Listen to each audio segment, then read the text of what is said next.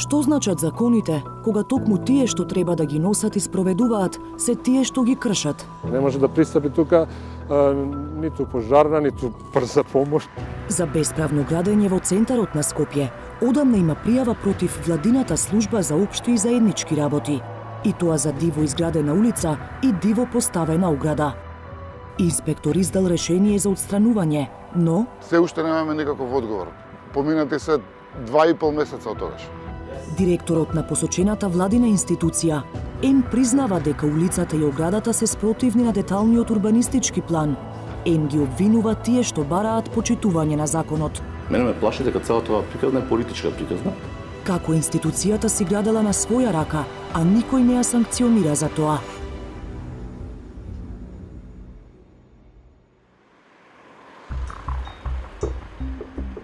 Во оваа зграда во строгиот центар на Скопје, со која стопанисува владината служба за општи и заеднички работи, или скратено СОЗАРА, се сместени неколку државни институции. Меѓу нив, на петтиот кат, е и самата СОЗАРА. За автомобилите на вработените има подземен паркинг во објектот. Но она што е спорно е начинот на кој се пристапува до него. На хартија, според деталниот урбанистички план за оваа локација, пристапот до зградата на Созара е од така наречената адвокатска улица. Во реалноста пак, влезот е од другата страна. Спротивно на законот, изградена е уличка која преку тротоарот за пешаци излегува на булеварот Филип II Македонски. Уличката е на диво оградена и со челична ограда, а пристапот ограничен со рампи.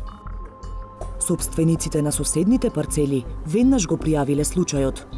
Едно, затоа што се крши дупот, и второ, затоа што е блокиран пристапот до нивните имоти. Гледате каква е ситуацијата, значи не, нема пристап до парцелата, не може да пристапи тука а, ниту пожарна, ниту брза помош, ниту а, со кола да, да стигнете до собствениот имот и така, така да нарушено, очигледно е нарушен на правото на пристап, односно правото преку тоа правото на собственост. Ние заради тоа реагиравме и бараме да тоа се врати во предходна состојба, да ние имаме право на пристап, елементарно е правото на пристап за нашата собственост, за нашиот, до нашиот имот. Неколку собственици на имотот спроти зградата на Созара поднеле пријава до Обштина Центар за бесправна градба уште во ноември 2020 година, кога почнало оградувањето на уличката. Со кое право они затвараат пристап на приватна собственост, ми пешки не може да помирам со кола, мене старо не ме јасно. Овде како што гледате е тротоар и не може од тротоар да се искача на булевар, си има пристап од таа страна каде што исто така има ставено ограда и има рампа. Значи куќата на ќушот е моја, се запали пред извесно време, пожарните не можеа да дојдат да пристапат. Се изгоре цела до темел, се уште оградата стои, направија пожарната записница и околу пристапот, сите тие работи вртеа од околу, едва се снајдоа да не се зголем пожарот и така. Дури една година по пријавата до општината и ни за жалби до повеќе институции, на 15 октомври 2021 градежен инспектор на терен констатирал дека оградата и рампите се поставени без одобрение. Па било издадено решение со кое се наредува на Созара во рок од три дена да ја отстрани градбата, а во спротивно да се пристапи кон присилно административно извршување. Но на терен, три и пол месеци подоцна, се си е на исто место. Поднесовме е, барање да се постапи по решението, се уште немаме никаков одговор. Поминати се два и пол месеца од тогаш. Зошто ниту Созара, ниту Обштина Центар не постапиле по решението за отстранување на спорните градби?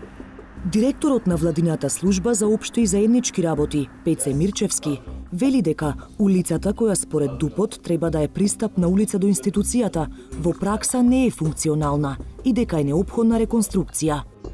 Моменталната слика на терен, вели, е привремено решение, со цел зградата да може да функционира. Ние оградата ја ставивме само од еден, од еден аспект, за да го спречиме движењето на луѓето, да не направиме, не да Боже, некоја несреќа тука, веќе влегуваат службени возила, влегуваат службени возила, ние секој ден во оваа зграда имаме посета на, на амбасадори кои се во оваа држава, така да само тој аспект е поставив под времен карактер. Кога ќе дојде реализација на тоа план, како што кажав, ние ќе ја трнеме градата и рампите, ќе ги вратиме онаму каде што се предвидени во проектот. Мирчевски обвинува и дека мотивите на соседите за пријавата за бесправна градба не се поврзани со блокираниот пристап до нивните парцели, туку се политички. Ова е веќе инат од политички аспект, кој сака да ја трнемо градот, исполнат они, еве, ние сме тоа што сме посилни комшии.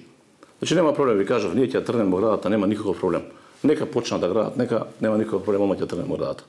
Ако толку им сме тоа градата. Меѓутоа, улицата таму нема да може да се движат по таа улица.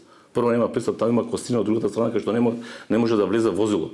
Ако можеше, ние ќе влегувавме таа страна, немаше проблем. Иако признава дека пристапот до зградата е направен спротивно на дупот, според Мирчевски, тоа не значи дека се работи незаконски. На прашањето зошто не постапи по решението за отстранување на градбата, издадено од општината, тврди дека таков документ не видел. Каква порака испраќате до граѓаните со ова, како институција која што не го почитува законот? Прво не е точно, прво не е точно дека не го почитуваме законот. Јас ви на, на почетокот ви напоменав и немојте да ги вадиме зборовите од контекст. Значи ние поставивме времена ограда која можеме да ја трнеме во било кој момент. И тоа не е непочитување на законите. Факт е дека е поставена спротивно на законите. Ви кажав јас, спротивно на законите дали е поставена или не е поставена, има институции кои Го утврдиле веќе тоа. Го, го утврдуваат. Јас го утврдиле. Не вие викате го утврдиле, ја не сум видел решение дека го утврдиле. Ако вие сте го виделе решението, тоа е друга работа. Јас решението не сум го видел. Кога ќе го достават решението, ние ќе тргнеме работа, ќе постапиме како што инспекторот кажал. Дали решението е доставено до Созара и кога, од Обштина Центар не добивме одговор. Оттаму само потврдија дека решение има и се чека да дојде на ред за извршување ве известуваме дека областен градежен инспектор има донесено решение од 15.10.2021 година, како и заклучок за дозвола за извршување од 10.12.2021 година. И истите ќе бидат извршени согласно програмата за работа на секторот за инспекцијски работи за 2022 година. Во кој месец, а може би и година, спорната градба ќе дојде на ред за рушење? Не добивме конкретен одговор. Но големото прашање што го отвора овој случај е, ако најповиканите за владење на правото не го почитуваат тој принцип, што останува за другите?